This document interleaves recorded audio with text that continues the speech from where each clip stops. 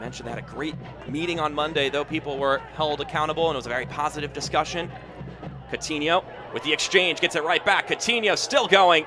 Coutinho dribbling on, and his shot trickles in and through. No whistle blown, and the Triumph have the lead.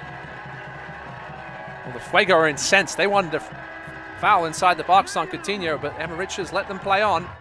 Amongst each other. Here's a look at it again.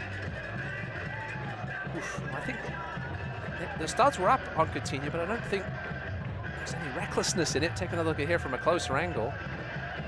I don't. I mean, It went down very easily to Casillas. yeah, I don't. Sure. I don't think there's something. I don't think there's anything there.